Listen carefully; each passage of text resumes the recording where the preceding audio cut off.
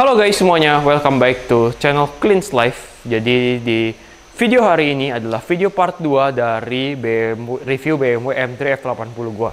Nah, buat teman-teman kalau misalkan kalian yang belum nonton uh, video gue yang sebelumnya, kan mungkin bisa klik videonya dulu di sini kali ya. Part 1. Tapi kalau misalkan kalian langsung nonton part 2 juga oke. Okay. Part 2 ini gue bakal ngebahas hari ini kira-kira gimana mobil ini kalau misalkan kita setir uh, pengalaman menyetirnya, terus uh, kecepatannya, akselerasinya, dan fun to drive itu seperti apa.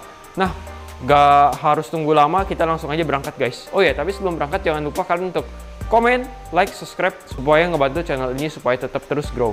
Oke, kita berangkat ya guys.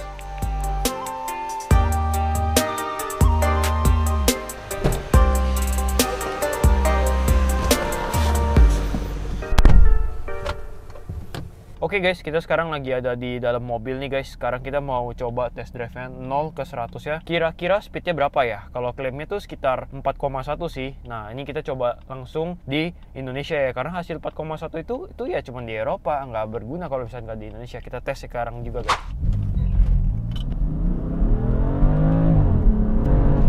Oke okay guys, ini karena uh, kameranya kurang fit ya, jadi kita bakal shoot dari belakang aja.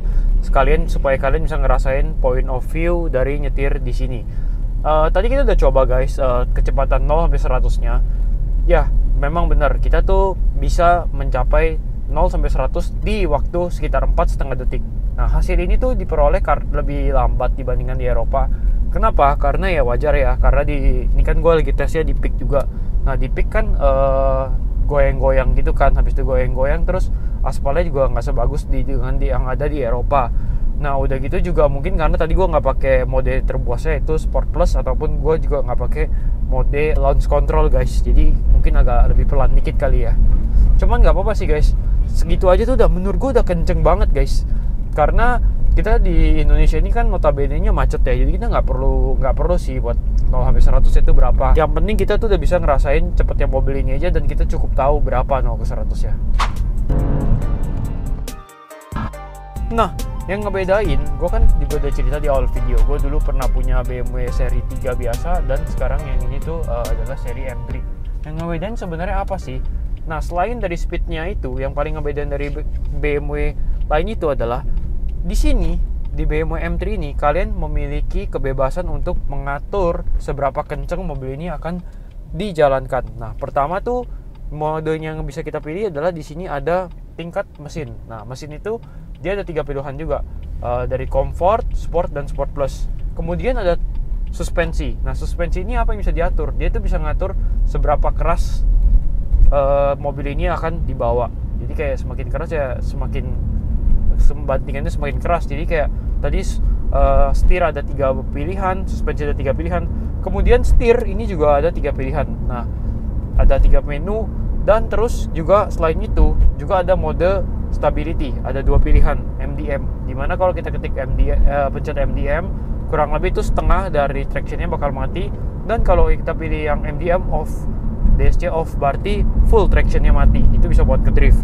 Terus transmisinya juga ada tiga pilihan. Di mana kalau misalkan kalian makin ditambah dia makin kenceng juga ganti giginya. Nah dari total keseluruhan ini akan menghasilkan sekitar 230 something uh, konfigurasi.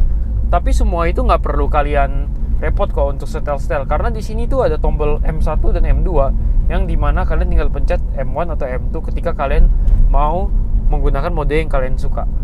Nah kalau yang biasa gue pakai itu menggunakan mode efisien bukan eco sport kalau misalkan seri 3 itu namanya eco sport di sini nggak ada eco sport eco sport di sini yaitu namanya efisien. Dan tingkat bantingannya dan setirnya biasa gue menggunakan comfort. Jadi masih cocok banget untuk gue setir daily.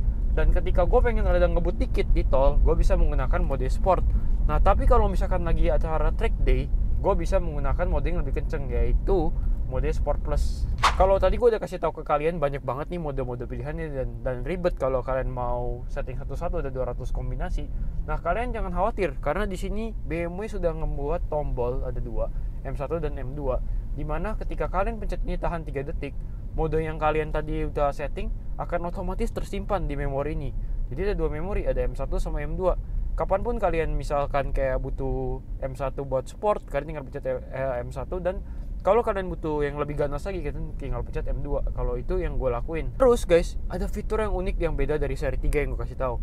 Nah di depan sini kalian nggak bisa lihat mungkin dari belakang tapi gue bisa kelihatan. Nah di depan sini ada yang namanya HUD display di mana dari uh, kaca sini ada pantulan speed. Speednya berapa? Dan ketika kita pencet mode M1 atau mode M seketika tampilan mode sportnya akan tiba-tiba berubah guys. Jadi kayak ada di sini ada kayak sedikit RPM ya kan? Kalau misalkan udah merah berarti waktu kita ganti gigi dan ada speednya. Jauh membuat penampilannya jadi jauh lebih racing. Nah sekarang kalian juga pasti uh, penasaran ya. Kan gue kan bilang berkali-kali bahwa mobil ini bisa dipakai untuk uh, sport car halian. Nah kira-kira berapa sih bahan bakarnya? Untuk kecepatan ini ada di headset display gua dengan kecepatan sekitar 21,5 rata-rata itu tuh menghabiskan bahan bakar cuma 6,3 jadi sebenarnya ya masih tergolong memang boros tapi masih tergolong oke okay lah untuk kategori sport car. Karena kalian harus ingat ini mobilnya tenaganya 431 horsepower dan cc-nya itu 6000 guys. Jadi ya wajar dong kalau misalkan segitu. Nah dengan kecepatan yang rata-rata 100 itu tuh kira-kira menghabiskan konsumsi bahan bakar sekitar 12 atau 12 km per liter. Tapi ya kayak siapa sih yang punya BMW M3 dengan tenaga dan performance segini bagus yang masih mikirin tentang bensin gitu loh. Kayak harus diirit bensinnya dan menggunakan comfort kayaknya sih udah nggak ada lah guys. Nah kita udah tadi dari tadi udah cobain dan kita udah review mobilnya. Tapi kalau misalkan kita dari tadi dengar yang hal-hal yang positif doang nggak adil dong kalau kita dengar juga yang nggak hal negatif ya. Nah negatif dari mobil ini tuh adalah beberapa hal poin yang kira-kira membuat poin ini berkurang jadi nggak perfect. Nah yang pertama menurut gua karena profil ban yang digunakan ini cukup sangat lebar, jadi dengungan atau Bannya ini saat kita kendarakan ini mobil, jadi terdengar lumayan berisik dan mengganggu dan agak sedikit dengung di dalam cabin. Ini membuat kita kalau nyetir ya rasanya agak sedikit nggak nyaman. Nah terus yang kedua guys, karena mobil ini radius putarnya sangat sedikit gitu kecil, jadi kayak kalau misalkan lagi lu nyetir di bundaran gitu atau di putaran, belokannya nggak dapet. Jadi mobil ini membuat kita kalau ketika kita muter, kita harus mundur dulu sekali lagi, baru putar sekali lagi biar dapet. Nah kadang-kadang kan kalau kita lagi buru-buru, agak sedikit repot ya. Terutama kalau lagi kita cari parkiran juga uh, radius putarnya dikit karena bannya lebar jadi kita harus mundur lagi.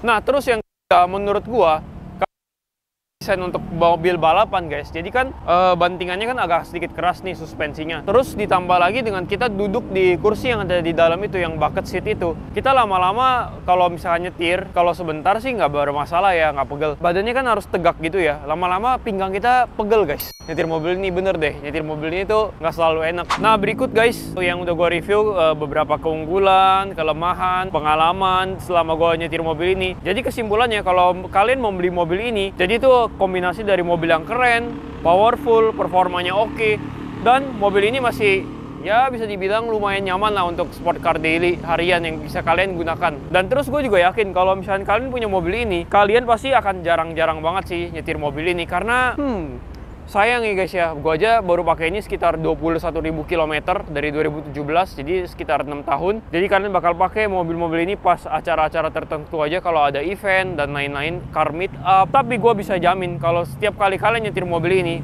pasti kalian kalau jadi pengemudi akan merasakan nikmatnya dan kespesialannya dari mobil ini. Oke guys, sekian aja dulu review dari mobil ini. Thank you buat teman-teman yang udah nonton dari awal video sampai habis. kira kira-kira kalau misalkan masih ada pertanyaan lagi seputar BMW M3 F80 ini, atau kalau ada teman-teman yang mau berencana mau beli mobil ini dan pengen tanya-tanya ke gue, boleh silahkan tulis di kolom komentar atau bisa reach Instagram gue. Jangan lupa untuk tetap subscribe, like, comment, dan share guys. See you on the next video.